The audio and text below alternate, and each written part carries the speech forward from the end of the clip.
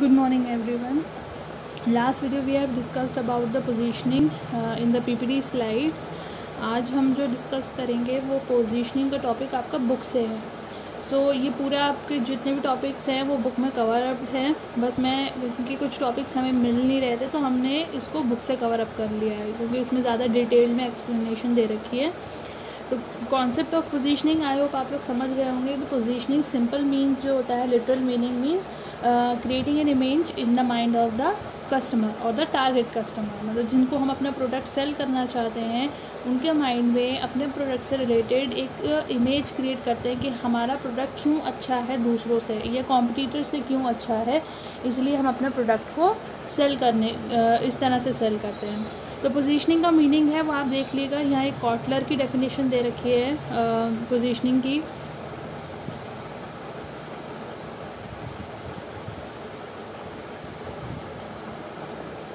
आई hope आप लोगों को ज़्यादा क्लियरली सब दिख रहा होगा। कॉलर की डेफिनेशन क्या है? Positioning is the act of designing the company's offering क्या है? एक्ट है डिज़ाइन करने का। ठीक है? यहाँ पे हम जब इमेज क्रिएट कर रहे हैं तो कुछ बना रहे हैं, इसलिए हम डिज़ाइन कर रहे हैं। क्या डिज़ाइन कर रहे हैं? कंपनी की ऑफरिंग कंपनी की ऑफरिंग वो प्रोडक्ट भी हो सकता है सर्विसेज़ भी हो सकती हैं। And image to occupy a distinctive place एक इमेज बना रहे हैं, किस लिए बना रहे हैं? ताकि हम टारगेट कस्टमर के माइंड में एक अपनी अलग पहचान बना सकें उसको हम पोजीशनिंग कहते हैं राइट जैसे अब अगर क्लास की बात करें तो क्लास में फिफ्टी स्टूडेंट्स होते हैं तो सब एक जैसे नहीं होते ना? जब एग्ज़ाम होता है तो कुछ टॉप थ्री स्टूडेंट्स भी होते हैं टॉप टेन स्टूडेंट्स भी होते हैं। तो वो क्या करते हैं? वो स्टूडेंट्स अलग एक अपनी पोजीशन क्रिएट करते हैं in the minds of the rest of the students और द टीचर्स ठीक है? तो सेम कंपनीज़ भी क्या करती हैं? मार्केट में एक जैसे बहुत सारे प्रोडक्ट हैं बट हमारा प्रोडक्ट अलग क्यों है और कस्टमर हमारा प्रोडक्ट क्यों खरीदे? उसकी वो पोजीशनिंग करते हैं या उसकी इमेज क्रिएट करते हैं। नेक्स्ट पॉइंट देखिए importance of positioning why positioning is important first point से is putting product in predetermined orbit orbit I think आप लोगों को पता होगा ऑर्बिट हम किसको बोलते थे? साइंस में आपने पढ़ा होगा कि जितने भी आपके सोलर सिस्टम में प्लैनेट्स हैं अर्थ मून या जितने भी अदर प्लैनेट्स हैं जुपिटर है सैचन सैटन है तो वो सब क्या करते हैं? रिवॉल्व करते हैं अराउंड द सन और वो किसमें रिवॉल्व करते हैं? अपनी डिफाइंड ऑर्बिट में। मतलब उनकी एक पाथ फिक्स है, उसी पे उनको चलना है। तो सेम पोजीशनिंग की इम्पोर्टेंस ये है कि वो हेल्प करता है कंपनी को कि एक डायरेक्शन में अपनी इमेज क्रिएट करता है कस्टमर के माइंड में। अब ये पॉइंट ये है कि अगर आप सही डायरेक्शन में इमेज क्रिएट करोगे ना तो कस्टमर तक वो पहुँचेगी। अगर आप गलत तरीका अडॉप्ट कर रहे हो या गलत तरीके से पोजीशनिंग कर रहे हो तो कस्टमर के माइंड में आपकी इमेज अच्छी नहीं बनेगी और प्लस ना ही उनके माइंड में आपकी पोजीशनिंग भी अच्छी नहीं होगी। फिर क्या हो जाता है? आपका प्रोडक्ट डिक्लाइन होने लगता है। मार्केट से चला जाता है। लोग पूछते नहीं हैं प्रोडक्ट को। तब उस केस में आपको अपने प्रोडक्ट की रीपोजिशनिंग करनी पड़ती है और जो कि बहुत डिफ़िकल्ट जॉब है अपने प्रोडक्ट को वापस से मार्केट में लेके आना और वापस से उसी स्टेज पे लेके आना जितना वो पहले सेल करता था। तो इसलिए एक प्री डिटरमाइंड ऑर्बिट बनाना बहुत ज़रूरी है, जिसमें हम अपने प्रोडक्ट को चला सकें मूव कर सकें, ताकि टारगेट कस्टमर तक हमारा प्रोडक्ट जो है वो सही डायरेक्शन में पहुँच जाए और उसकी इमेज सही डायरेक्शन में लोगों तक क्रिएट हो जाए।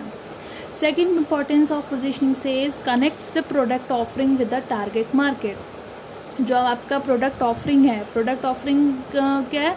हम प्रोडक्ट टेंजिबल प्रोडक्ट की भी बात कर रहे हैं यहाँ पे और यहाँ पे जो इनटेंजिबल हो, होते हैं सर्विसेज़ वगैरह वो भी कम प्रोडक्टिव के फॉर्म में होते हैं। तो वो जो भी कंपनी प्रो, प्रोड्यूस कर रही है उसको हम टारगेट मार्केट से कनेक्ट कर सकें। कनेक्ट करना मतलब उनकी जो नीड्स एंड वांट्स हैं उसके हिसाब से हम प्रोडक्ट बना रहे हैं। तो इससे क्या होगा एक कनेक्शन डेवलप होगा ठीक है? कि आपकी नीड ये है तो ठीक है हम ये प्रोडक्ट बना रहे हैं। आपका टेस्ट ऐसा है तो आपकी टेस्ट एंड प्रेफरेंसेस के हिसाब से हम प्रोडक्ट प्रोडक्ट हम बना रहे हैं। तो इन्होंने यहाँ पे एक लिखा है कि while target market selection clarifies for whom the product is intended target market का क्यों, क्या हेल्प करता है? कि किसके लिए प्रोडक्ट हम बना रहे हैं और बाकी जो मार्केटिंग मिक्स हम फोर पीज यूज़ करेंगे, वो हमें हेल्प करेंगे पोजीशनिंग क्रिएट करने में। तो ये पोजीशनिंग क्यों इंपॉर्टेंट होती है? Positioning helps the company so that a company can create a connection between the product they are producing and the target market कि कैसे वो रिलेट करेंगे उस कंपनी से या अपनी कंपनी से कैसे वो जुड़ेंगे वो पोजिशनिंग हेल्प करता है उनको कनेक्ट करने का काम। Third importance is product can not be everything to every one उन्होंने कहा है एक प्रोडक्ट एक प्रोडक्ट या कोई भी प्रोडक्ट या हम अगर बात करें जैसे नॉर्मल सोप की बात करें तो आ, हर कोई सोप एक ही पर्पज़ के लिए तो यूज़ ही नहीं करता है ना? जैसे इन्होंने कहा कि एवरीथिंग टू एवरी वन सब कुछ सबके लिए नहीं हो सकता। कुछ लोग प्रोडक्ट खरीदते हैं for just to show the status ठीक है? वो अपना स्टेटस कॉन्शियस होते हैं तो वो हाई क्लास शो करने के लिए ही वो महँगे महँगे प्रोडक्ट्स हाई ब्रांड्स खरीदते हैं, ठीक है? कुछ लोग जस्ट उसके जो फीचर्स हैं या उसका जो एक्चुअल पर्पस है यूज़ करने का या काम है उसका सर्व करने का, उसके लिए वो यूज़ करते हैं। अब देखो वॉच की बात करें वॉच आपकी फास्ट ट्रैक की भी आती है, टाइटन रागा की भी आती है, रोलेक्स की भी वॉच आती है और नॉर्मल मैक्सिमा वॉच भी और सोनाटा वॉचेस भी आती हैं। तो क्यों इतने प्राइसेस में डिफरेंसेस हैं? बिकॉज़ सबने का ब्रांड अलग है और सबने अपनी इमेज अलग तरीके से क्रिएट कर रखी है। ठीक है? तो इसलिए हर प्रोडक्ट की जो सर्विंग होती है, वो अलग तरीके की होती है। इसलिए उन्होंने कहा product can not be everything to every one यहाँ एक उन्होंने यहाँ पे एक्सप्लेन भी करा है कि normally some unique features of the product some कुछ लोग प्रोडक्ट खरीदते हैं because of the unique features कुछ लोग की कुछ स्पेशल नीड्स होती हैं तो वो उसको सर्व करता है और कुछ नोटिसेबल गैप होता है उसके उसको पूरा करने के लिए भी हम पोजिशनिंग क्रिएट करते हैं। तो आप आपको डिपेंड करेगा कि आपने प्रोडक्ट की पोजीशनिंग किस बेसिस पे कर रहे हो, कि जस्ट कि जो प्रोडक्ट आपका बनाया है, वो बेसिक उसका काम क्या है, उसके लिए बना रहे हो, या किसी की इमोशंस के बेस्ड आप अपना प्रोडक्ट सेल कर रहे हो, या किसी को स्टेटस कॉन्शियस है तो उसके स्टेटस को मेंटेन करने के लिए आप अपना प्रोडक्ट पोजीशन कर रहे हो, ये डिपेंड करेगा कि आप किसको टारगेट कर रहे हैं। तो ये आपके इम्पोर्टेंस है next fourth point is brand seeks a locus in space through positioning locus means होता है फोकल पॉइंट और यू कह सकते हैं the focus point in the mind of the customer कि ऐसा है मार्केट में दस तरीके के साबुन हैं, ठीक है ठीके? और दस ही तरह के साबुन ने कस्टमर के माइंड में इमेज बना रखी है या ऑक्यूपाई कर रखी है आपका प्रोडक्ट अलग से इमेज कैसे क्रिएट करेगा माइंड में, या जो जगह बची हुई है, उसको कैसे भरेगा वो कस्टमर के माइंड में, वो आपकी पोजीशनिंग हेल्प करती है। तो इसलिए इन्होंने कहा है कि जो कस्टमर आपका है जब प्रोडक्ट ख़रीदने जाएगा तो कैसे प्रोडक्ट आपका प्रोडक्ट ये कंपनी का प्रोडक्ट जो है, कैसे कम कस्टमर उसको अलग से हाईलाइट करते हुए दिखेगा, या उसको कैसे पहचानेगा, या उसकी इमेज उसके माइंड में कैसे रिटेन रहेगी मतलब बनी रहेगी, ये सारी चीज़ें आपकी पोजीशनिंग हेल्प करेगा, ठीक है? तो पोजीशनिंग क्या हेल्प करेगा? Brand seeks a local point brand का काम क्या होता है कि एक फोकस पॉइंट बनाना कस्टमर के माइंड में इन स्पेस इन स्पेस मतलब जो खाली जगह बची हुई है कस्टमर के माइंड में दस प्रोडक्ट ने तो जगह बना लिए उसके बाद भी अगर कुछ जगह बची है तो हमारा प्रोडक्ट उनके माइंड में फिट हो जाना चाहिए। हमारे प्रोडक्ट की इमेज फिट हो जानी चाहिए कि हम सो एंड सो ब्रांड है, हम ऐसा प्रोडक्ट प्रोवाइड करते हैं और हमारा product best quality best prices देता है।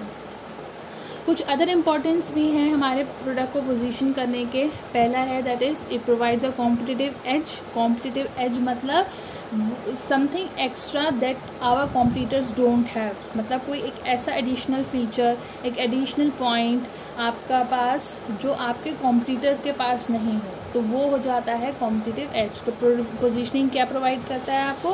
कॉम्पिटिटिव एज प्रोवाइड कराता है from other competitors of the target market second place an intangible service within a more tangible frame of reference positioning एक काम और करता है कि वो इनटेंजिबल सर्विसेज़ को प्लेस करता है विद द मोर टेंजिबल ज़्यादातर हम जो प्रोडक्ट खरीद बेचते हैं या हम जो सेल करते हैं, उसका काम यूजली हम यही दिखाते हैं कि इसको ऐसे कंज्यूम करना है, ऐसे यूज़ करना है। बट हम कभी कभार पोजीशन ऐसे भी करते हैं कि हमारी सर्विसेज़ बहुत अच्छी हैं। लाइक मारुति का एग्जांपल आप लिए। वो प्रोडक्ट बेच रहे हैं, ठीक?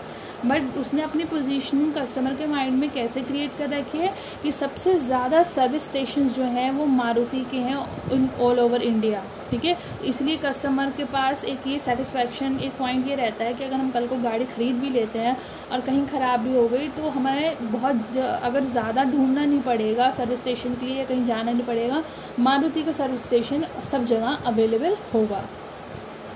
Third importance is helps in influencing both service development and the redesign of the existing services. Positioning हमें और क्या हेल्प करता है? जो भी हम सर्विसेज़ दे रहे हैं, उसको और डेवलप कैसे कर सकते हैं? या जो एग्जिस्टिंग सर्विसेज़ हैं, उसको रीडिज़ाइन कैसे कर सकते हैं? फॉर एग्जांपल आप किसी पर्टिकुलर तरह की सर्विसेज़ दे रहे हैं, चाहे आप होटल सर्विसेज़ दे रहे हो लॉयर सर्विसेज़ दे रहे हो हॉस्पिटल सर्विसेज़ दे रहे हो, कोई भी या प्रोडक्ट के साथ आप सर्विसेज़ दे रहे हो, अभी ठीक है। बट अपने कस्टमर के माइंड में हमें और कैसे बने रहना है रिटेन कैसे रहना है तो अपनी सर्विसेज़ में हम और क्या नए चेंजेस लेके आए क्या चीज़ न्यू लेके आए तो वो भी आपकी पोजीशनिंग हेल्प करेगी, उसको चेंज या रीडिज़ाइन करने में। Fourth point says follow considerations of competition's possible moves and responses. So that appropriate action can be taken as उन्होंने कहा कॉम्पिटिटर के पॉइंट ऑफ़ व्यू से भी हमें कब क्या एक्शन लेना पड़ेगा तो वो भी पोजिशनिंग हमें हेल्प करती है। To give the target market the reason of buying the services and then design the whole strategy आप पोजिशनिंग क्रिएट करेंगे कस्टमर के लिए टारगेट कस्टमर के लिए टारगेट ग्रुप के लिए जिसको आप अपना प्रोडक्ट बेचना चाह रहे हैं। तो आप ये भी तो रीज़न एक तरीके से अपने पोजिशनिंग में हाईलाइट करोगे कि हम एक रीज़न दे रहे हैं कि क्यों आप प्रोडक्ट खरीदिए। आप टीवी में इस टाइम ऐड देख रहे होंगे कि सोनाक्षी सिन्हा का एक कुकिंग ऑयल का ऐड आ रहा है। आई थिंक सफोला का या फ्यूचर का है। आ, तो वो क्या उसमें हाईलाइट कर रहे हैं कि टिश्यू को अपना काम करने दो यूजुअली हम लोग ऑयली फ़ूड बनाते हैं तो एक टिश्यू पेपर लगा लेते हैं जस्ट कि फ़ूड में से जो भी एक्सेस ऑयल होगा वो टिश्यू पेपर ऑब्जॉर्व कर लेगा। तो वहाँ क्या है कि आप अपना खाना खाइए। यहाँ पे एक्सेस ऑयल आपको देखने को नहीं मिलेगा फ़ूड में और you can eat healthy food तो वो क्या है, हम रीज़न दे रहे हैं कि क्यों कस्टमर हमारा ये और कुकिंग ऑयल ख़रीदे। ठीक है? सेकेंड आपका पॉइंट है इसमें to provide guidelines for the development of marketing mix अब जो हम फोर पीस अपने टारगेट मार्केट को दे रहे थे फोर पीस मतलब जो प्रोडक्ट दे रहे थे प्राइस दे रहे थे प्रमोशन कर रहे थे एंड आपका जो प्लेस था ऑफ़ डिस्ट्रीब्यूशन इसमें भी क्या चेंजेस आने चाहिए या इसकी स्ट्रैटेजी में क्या चेंजेस आने चाहिए, वो भी आपका पोजीशनिंग हेल्प करेगा। अगर आप सेम फोर पीस रखते हो पूरे स्टेज में तो वो काम नहीं करेगा। तो इसलिए आपको ज़रूरी है कि अगर कस्टमर के माइंड में बने रहना है, अपनी पोजीशन अच्छी क्रिएट करके रखनी है तो हमें मार्केटिंग मिक्स को भी चेंज करना पड़ता है विद द टाइम नेक्स्ट है आपका इसमें कुछ पॉइंट टॉपिक जो है वो ब्रांड पोजीशनिंग के ऊपर है। कि ब्रांड कैसे पोजीशन किए जाते हैं और कैसे डिफ्रेंशिएट किए जाते हैं ब्रांड्स आप सब देखते होंगे कि जब हम स्टेशनरी आइटम खरीदने जाते हैं तो पेंसिल का काम क्या होता है? लिखने का, ठीक? अब उसमें ब्रांड की बात करें तो आपको पेंसिल में कैमल मिल जाएगा डॉम्स की मिल जाएगी और नटराज की मिल जाएगी और आपकी क्लासमेट की मिल जाएगी और भी कोई सो एग्ज़ाम पेंसिल के ब्रांड आते होंगे।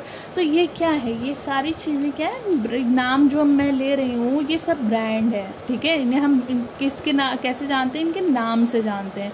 और इन्होंने हमारे माइंड में कोई इमेज क्रिएट कर रखी है क्वालिटी के पॉइंट ऑफ़ व्यू से प्राइस प्राइस के पॉइंट ऑफ़ व्यू से तो इसलिए हम क्या करते हैं, वो ब्रांड पोजीशनिंग कंपनी जो ये चीज़ करती है ना, हमारे दिमाग में बिठाती है कि नहीं, हमें ये क्लासमेट का ख़रीदना है, नहीं, हमें नटराज का ख़रीदना है, नहीं, हमें कैमल का ख़रीदना है तो ये चीज़ जो होती है, वो ब्रांड की पोजीशनिंग होती है। हैं तो सारी पेंसिल बट कौन सी पेंसिल अलग है? कस्टमर कौन सी खरीदेगा या कैसे पहचानेगा क्या काम है? वो ब्रांड पोजीशनिंग होती है। अगर इंडिया में बात करें या मार्केट की बात करें तो जनरली ब्रांड पोजीशनिंग मतलब जस्ट ये होता है कि ब्रांड का नाम लोगो डिज़ाइन करना, ताकि कस्टमर दस प्रोडक्ट में से दस प्रोडक्ट अगर उसके सामने रखे जाएँ तो वो हर एक प्रोडक्ट को अलग तरीके से वो पहचान सके कि हाँ ये भाई इसका प्रोडक्ट है, ये इसका प्रोडक्ट है। यही एग्जांपल आप सोप में ले लिए। सारे सोप आपके बाथिंग सोप होते हैं। ठीक, लक्स भी आपका बाथ सोप है, लाइफ बॉय बाथ सोप है, डिटॉल है, गोदरेज नंबर वन है संतूर है और भी बहुत सारे आते होंगे। मेडिमिक्स है आपका, ये सब क्या है? बाथ सोप है। बट ये आप कैसे याद रखें मैंने? इनके नाम से। और ये नाम क्या है? ये एक क्राइटेरिया है of identification of the product और यही चीज़ है ब्रांड पोजिशनिंग तो ब्रांड पोजिशनिंग आपका एक उन्होंने यहाँ पे एक एग्ज़ाम्पल बहुत अच्छा दे रखा है। कोटक महिंद्रा का है। आप अपनी ये बुक से पढ़ लीजिएगा। वैसे इसमें बता क्या रहे हैं ब्रांड पोजीशनिंग में? उनका brand positioning can be defined as an activity of creating a brand offer in such a manner that it occupies a distinctive place मतलब ब्रांड ऑफरिंग तो है, हर कंपनी की कोई प्रोडक्ट ऑफरिंग है, चाहे वो छोटा मोटा प्रोडक्ट हो या बहुत महँगा प्रोडक्ट हो, सब ऑफ़र ही कर रहे हैं, ठीक? बट अब कस्टमर के माइंड में वो अलग इमेज कैसे क्रिएट करेगा और कैसे वैल्यू प्रोवाइड करेगा, उसको हम ब्रांड पोजिशनिंग बोलते हैं, ठीक है? तो जैसे इन्होंने कोटक महिंद्रा का एग्ज़ाम्पल दे रखा है उन्होंने कहा उसको नाम कैसे इन्होंने क्यों कोटक महिंद्रा रखा? क्या पोजीशन करने के लिए रखा? उन्होंने कहा Kotak which can provide customise and one stop solution ठीक है? मीन्स मतलब एक ऐसी जगह जहाँ पे आपको सारी प्रॉब्लम की सोल्यूशंस मिल जाएँगी। तो उन्होंने वो उसका नाम कोटक से रखा for the financial services it has unaided top of mind recall it intends to say that with the proposition think investment think Kotak मतलब उन्होंने कहा, अगर आपको कहीं भी इन्वेस्टमेंट करने की ज़रूरत पड़ती है, या आप पैसे से फिनेंस रिलेटेड अगर आप कुछ भी सोचते हो तो आप कोटक को सोचिए, ठीक है? तो इन्होंने टैग लाइन दिया और इस टैग लाइन से वो अपनी पोजिशनिंग बना रहे हैं कस्टमर के लिए। ब्रांड पोजीशनिंग की डेफिनेशन देख लीजिए positioning is a part of brand identity एक आइडेंटिटी एक अलग पहचान क्रिएट कर रहे हैं brand positioning and value proposition value proposition का मतलब होता है वैल्यू ऑफ़र करना। That is to be actively communicated to the target audience and that demonstrate an advantage over competing brands और यही एक चीज़ होती है, अगर आप अपना प्रोडक्ट अच्छे से कस्टमर के माइंड में उसकी इमेज फिट कर सकते हो कि हाँ हमारा प्रोडक्ट का नाम ये है, हमारा प्रोडक्ट का लोगो ये है, हमारा प्रोडक्ट दिखता ऐसा है। अगर आपने ये चीज़ अलग छाप कस्टमर के माइंड में डाल दी है तो वो आपका ब्रांड पोजिशनिंग कहलाता है, ठीक है? एक मैं इसका आपको बहुत अच्छा एग्जांपल देती हूँ। आप सब टीवी देखते हैं और ये चीज़ आपकी एडवर्टिजमेंट में भी आएगी। आप सब टीवी देखते हैं और जब भी आप ये वीडियो ऑडियो सुनेंगे, उस दिन आप सब टीवी देखेंगे और टीवी में सीरियल मूवी नहीं देखनी है आपको एड्स देखने हैं, ठीक है? जब आप एड्स देखोगे तो अब आप एक चीज़ नोटिस करना कि जब जो भी प्रोडक्ट होगा चाहे वो टूथपेस्ट का हो, चाहे वो सोप का हो, या वो आपके हेयर ऑयल का हो, किसी चीज़ का भी आप अगर ऐड देखोगे तो आप एक चीज़ ये नोटिस करना बहुत सारे प्रोडक्ट के एड्स में जो प्रोडक्ट का कलर होता है, या प्रोडक्ट की पैकेजिंग का जो कलर होता है, वो सिमिलर तरह के जो कपड़े होंगे, वो उस एड में एक्टर या एक्ट्रेसेस भी पहने होंगे। इसके एग्जांपल मैं आपको देती हूँ, जैसे रणवीर सिंह जो है क्लोज़अप का ऐड करते हैं। तो क्लोज़अप जेल टूथपेस्ट है रेड कलर का है तो आपने देखा होगा वो रेड कलर के कपड़े या रेड कलर के कोट पहना होगा या, एक लड़की के साथ आता है कि हार गए हो तो कोई आवन नई सुबह आपको मिलती है। तो उसमें भी आप देखोगे लड़की वाइट एंड रेड का कॉम्बिनेशन पहनी होती है। वॉलिनी का ऐड अगर आपको देखने को मिले तो वॉलिनी का जो स्ट्रिप्स हैं ऑरेंज एंड पर्पल उसी स्ट्रिप्स के अगर आप देखोगे तो सोनाली बेंद्रे साड़ी पहनी है। तो ये क्या चीज़ कर रहे हैं? हम कहीं ना कहीं कस्टमर के माइंड में कलर भी फिट बिठा रहे हैं। लोगो स्लोगन प्रोडक्ट तो फिट बैठा ही रहे हैं और उसको ये कोशिश कराते हैं हम ऐड के थ्रू कि कस्टमर हमारे अगर पूछा जाए कि आपने उसका ऐड देखा है तो कस्टमर के दिमाग में हमारे प्रोडक्ट का ऐड भी याद रहना चाहिए। तो ये सब चीज़ें पोजीशनिंग का वे हैं कि कैसे हम अपने माइंड कस्टमर के माइंड में अपनी इमेज क्रिएट कर सकते हैं। तो एक प्राइमरी मोटिव क्या होता है कंपनी का? Is to somehow create a distinct place अलग पहचान बनाना in the consumer minds generally term as positioning उसको हम पोजिशनिंग बोलते हैं। अब एक उन्होंने यहाँ पे फैक्टर्स कुछ बताए हैं कि जब हम पोजीशनिंग करते हैं तो कुछ ऐसे फैक्टर्स भी होते हैं जो पोजीशनिंग को डिस्टर्ब करते हैं या अफेक्ट करते हैं। अगर आप इन चीज़ों को ध्यान नहीं देंगे तब। तो पहला है brand attribute brand attributes means brand के features what brand delivers through features and benefits to consumers अब मान लीजिए प्रोडक्ट आप कुछ बेच रहे हो और उसकी आप ऐसी पोजीशनिंग कर रहे हो जो वो एक्चुअल में दे ही नहीं रहा है कस्टमर को। मान लीजिए एक मोबाइल फ़ोन है। और मोबाइल फ़ोन वो ऐड दिखा रहे हैं कि इतने एम की बैटरी है, जो आपकी इतने घंटे तक चलेगी, जो एक्चुअल में नहीं दे रही है तो कस्टमर वहाँ पे क्या होगा पोजीशनिंग नहीं क्रिएट हो पाएगी कस्टमर के माइंड में। तो इसलिए आप कोशिश ये करिए, जो प्रोडक्ट आप दे रहे हो, उसमें जो फीचर्स आप हाईलाइट कर रहे हो, वो फीचर्स उसमें होना चाहिए। आप ये ऐसा नहीं कि सिर्फ़ ओरली आपने बता दिया बट ऐसा प्रोडक्ट में कुछ है ही नहीं। दूसरा पोजीशनिंग को क्या अफेक्ट करता है? कंज्यूमर के एक्सपेक्टेशन मतलब जो चीज़ वो एक्सपेक्ट करते हैं कि हमें इस प्रोडक्ट से मिलना चाहिए, वो चीज़ भी आपकी पोजीशनिंग को अफेक्ट करेगी। वही मैंने एग्जांपल अब जैसे फॉर एग्जांपल मोबाइल के ही ले लिए, हम मोबाइल फ़ोन ख़रीदते हैं तो इतना तो एक्सपेक्ट करते हैं कि एक साल तक फ़ोन अच्छा चले, उसकी बैटरी भी अच्छी चले, कोई ज़्यादा हैंग अप ना करे। तो अगर ये चीज़ मान लिए हमारे एक्सपेक्टेशंस फुलफ़िल नहीं होते हैं तो हमारे, मेरे माइंड में तो भैया पोजीशनिंग उसकी अच्छी नहीं बनेगी। सौ लोग सैमसंग फ़ोन पसंद करते हैं और हज़ार लोग ऐसे भी हैं जो सैमसंग लोग सैमसंग फ़ोन नहीं भी पसंद करते हैं, ठीक है? क्यों नहीं पसंद करते उन्होंने, उनका पर्सनल एक्सपीरियंस हो सकता है, उन्होंने यूज़ करा होगा फ़ोन और उन्होंने जो एक्सपेक्ट किया था उन्हें नहीं मिला। बहुत सारे लोग के कंप्लेंट करते हैं कि हम बैटरी उसके इतनी चलती गर्म हो जाती है या ख़राब हो जाती है। तो जब उनकी जो एक्सपेक्टेशन थी, उम्मीद थी प्रोडक्ट से, नाम के हिसाब से, वो उन्हें मिली ही नहीं तो वहाँ पे पोजीशनिंग आपकी गिर जाएगी। कस्टमर के माइंड में पोजीशन अच्छी नहीं बनेगी। Third is competitor attributes now what we have to see is what our competitor is providing best features or the product features in their product तो उसको भी ध्यान रखना है what other brands in the market offer through features and benefits to the consumer हम जो provide कर रहे हैं वो तो ठीक है बट हमारा कॉम्पिटिटर हाँ अपने प्रोडक्ट में क्या प्रोवाइड कर रहा है, उसको भी ध्यान रखो जब आप पोजीशन करोगे, ठीक है? क्योंकि आपको इमेज अलग बनानी है सेम इमेज नहीं बनानी है। और अलग इमेज तब बनाओगे जब दूसरों से अलग पोजीशन क्रिएट करोगे, अलग थॉट लेके आओगे, अलग प्रोडक्ट में कुछ फीचर्स लेके आओगे, या अलग स्लोगन लेके आओगे, अलग एड एक तरीके का दिखाओगे तो वो सारी चीज़ें आपकी कॉम्पिटिटर के परस्पेक्ट से रहेंगी। Price also plays an important role while positioning a brand price is an easily quantifiable factor against competitor हम सौ रुपये का प्रोडक्ट ख़रीद के लेके आए और एक हमारा ही कॉम्पिटिटर है जो अब मोबाइल में ले लिया एग्ज़ाम्पल सैमसंग बहुत महँगे फ़ोन्स बेच रहा था। एक उसने एस सीरीज़ लॉन्च की थी, उसमें उन्होंने मॉडल्स तो बहुत लॉन्च करे, मगर फ़ोन जैसे दिखते थे वो वाइट कलर के। वो एक पंद्रह हज़ार का कर दिया, बीस हज़ार का कर दिया, ठीक? एम आई आ गया माइक्रोमैक्स आ गया। उन्होंने कम फीचर्स में आपको वही कैमरा क्वालिटी प्रोवाइड करने लगे, वही सब चीज़ें प्रोवाइड करने लगे। तो क्या करा उन्होंने? प्राइस के हिसाब से अपनी पोजीशनिंग क्रिएट कर ली उन्होंने एम आई ने अपनी। वो टॉप पे आ गया सैमसंग से भी ऊपर पे आ गया। तो इसलिए कोशिश आपकी ये भी रहनी चाहिए कि जो भी आप प्राइस सेट कर रहे हो, वो कॉम्पिटिटर के से कैसे सेट कर रहे हो? क्या ऐसे फीचर्स हैं हमारे? हो सकता है हम अगर कुछ अलग फीचर दे रहे हैं तो हो सकता है हम अपने प्राइस बढ़ा सकते हैं तो हम लोग हमसे ख़रीदेंगे।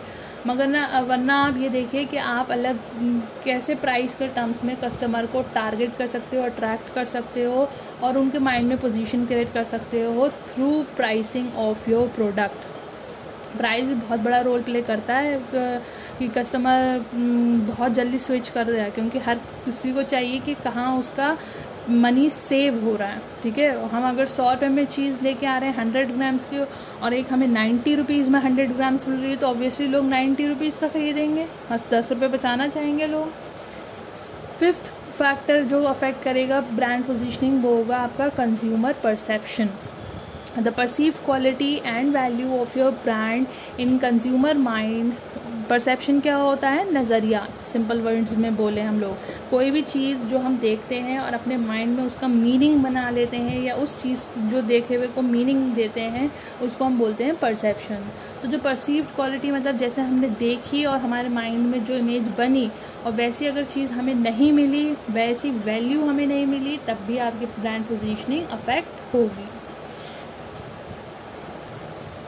नेक्स्ट टॉपिक जो है हमारा brand positioning versus product positioning अब आप ये सोच रहे होगे, है तो दोनों एक ही चीज़, एक ही जैसे काम है ब्रांड पोजीशनिंग और प्रोडक्ट पोजीशनिंग का but there is a difference between brand positioning and product positioning product mean simple जो हम प्रोडक्ट बना रहे हैं और उसको, उसके जो बेसिक फीचर्स हैं। अगर मैं पेन है तो पेन मतलब स्मूथ राइटिंग होनी चाहिए इंक उसका स्प्रेड नहीं होना चाहिए।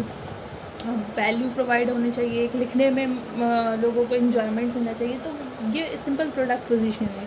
बट जब हम ब्रांड की बात करते हैं तो ब्रांड पेन तो सभी काम करते हैं, लिखने का पोजीशनिंग तो वो सबकी है। और जब ब्रांड की बात करें तो आपका दस रुपये वाला पेन की अलग पोजीशनिंग है, सौ रुपये का पीटर पार्कर का पेन अलग पोजीशनिंग है, और दो सौ रुपये वाला भी पेन है तो उसकी भी पोजीशनिंग अलग है।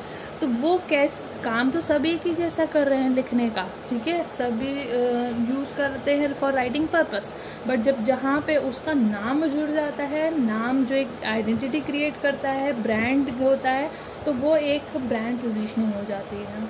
एक उन्होंने इस पैराग्राफ में ये बोला है कि जो हमारे आपको थर्ड लाइन से दिखाते हैं।